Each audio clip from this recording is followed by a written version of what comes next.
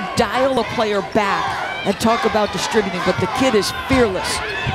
Brown takes a bump, hits off the window. He'll be a.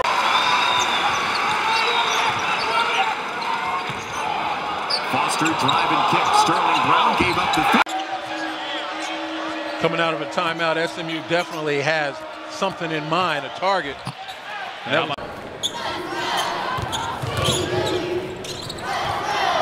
Sterling Brown runs it inside the left hand. On the baseline drive, the kick out for Brown. He'll drive the lane to his right. That scoop will drop in. Only six times all year. And they're being shot out of the building by SMU tonight. you know, not only statistically, but they've been winning, and and uh, you know, they they present a lot of other problems. Take it back, a Little.